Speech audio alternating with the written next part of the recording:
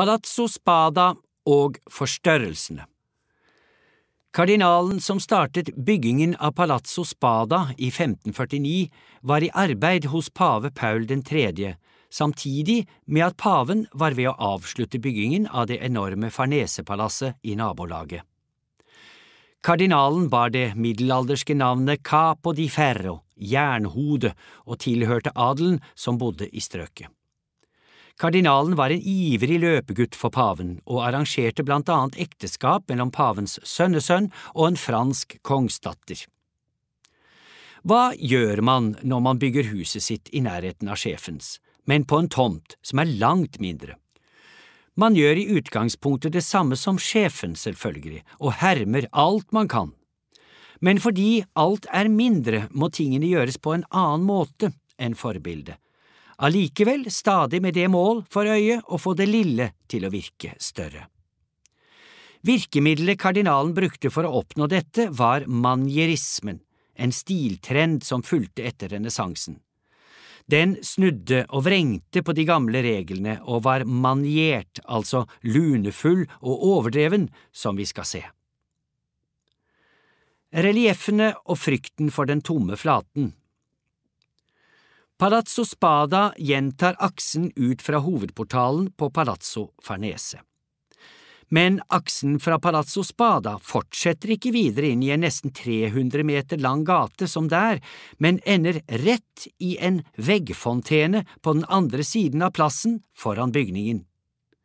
Sett innenfra portrommet kunne en tro at fontenen dannet fokus i et stort og symmetrisk plassanlegg foran palasset.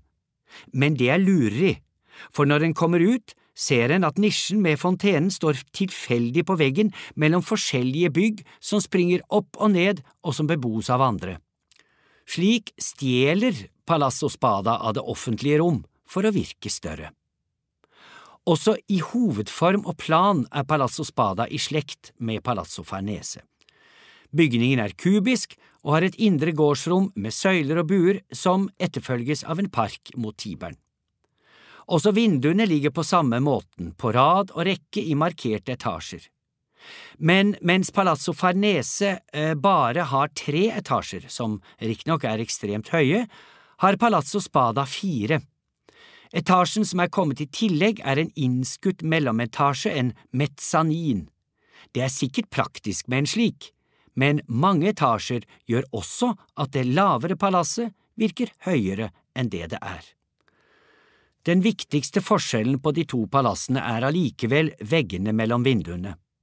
Mens Palazzo Farnese har store og enkle flater mellom åpningene, er Palazzo Spadas fasade et overveldende eksempel på fenomener horror vacui, redselen for det tomme rom.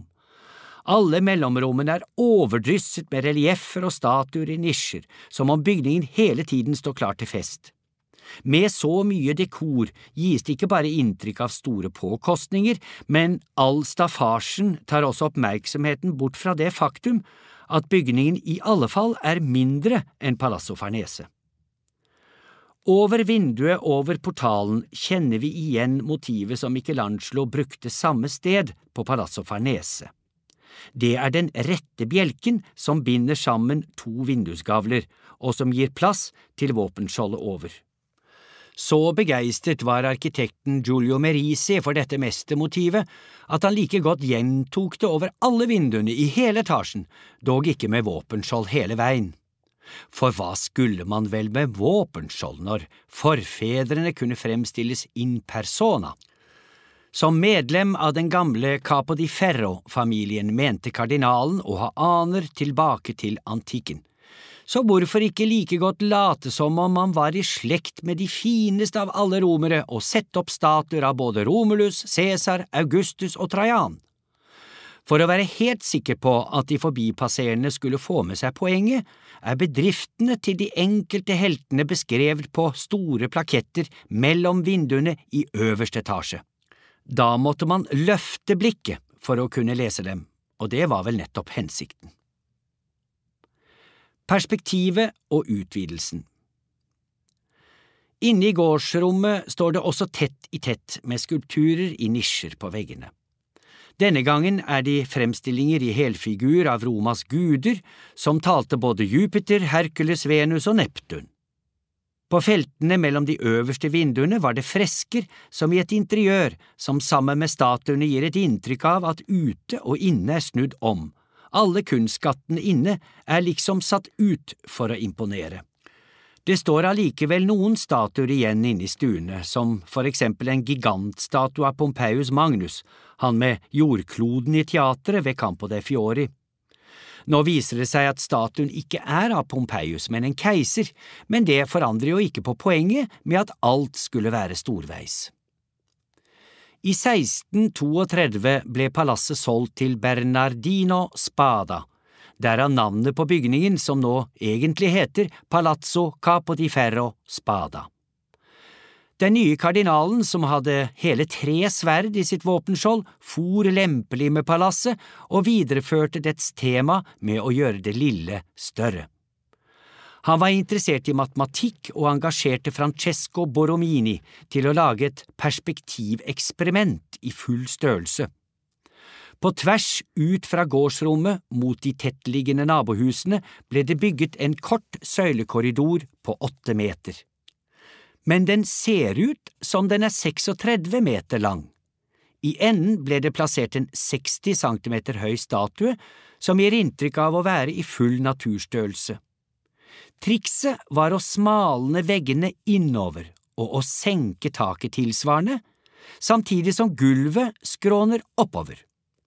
Ved at søylene dermed blir lavere etter hvert og står med stadig kortere avstand til hverandre, gis det til sammen en illusjon av en dyp korridor som fører ut til en romslig hage med statuer. Og da er vi der igjen, nå i barokkdrakt. Man ville gjøre det lille stort, eller som i dette tilfellet, gjøre det grunne dypt. Denne gangen ble det gjort for å skape et inntrykk av at kardinalens palass var omgitt av en mektig park, som slett ikke lå der.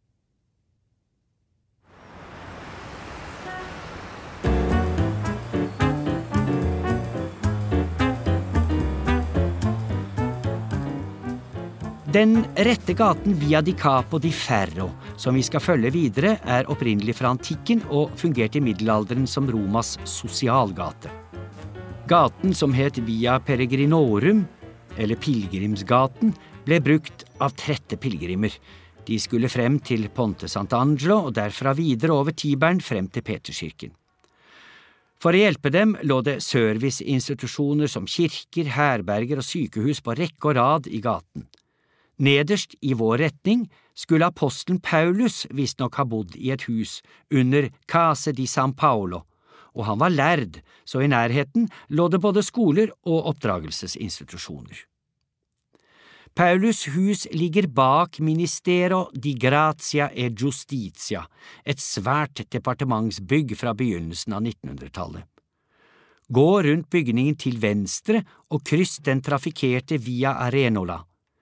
Denne hovedgaten, som ble anlagt etter 1870, fører ned til Tibern og er oppkalt etter en sandbanke som lå der. Derfor heter gaten Arenola, etter arena, som betyr sand, og er det samme ordet som ble brukt om det sanddekkede kampområdet i amfiteatrene. Vel over gaten står vi foran Chenchi-familiens boliger, som ligger i et område som var dominert av de fryktede baronene.